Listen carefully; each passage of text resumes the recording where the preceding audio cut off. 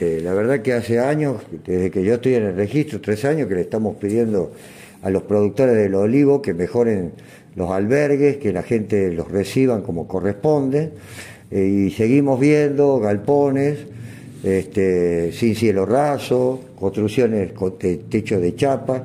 Ustedes saben que las temperaturas acá hay veces que superan los 40 grados y el trabajador no puede descansar.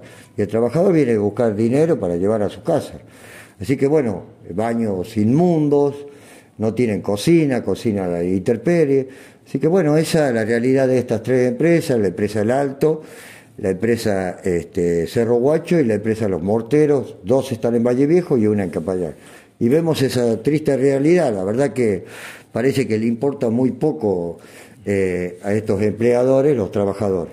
Y, en este sentido ya se pidió la intervención de algún organismo para que controle la situación. Sí, sí, apenas terminamos la inspección, hoy me comuniqué con el director de inspección laboral y le, le una nota solicitando que mande la gente de higiene y seguridad, porque esos trabajadores no pueden estar en esas condiciones realmente, ellos vienen a trabajar, entonces los tienen que recibir como trabajadores.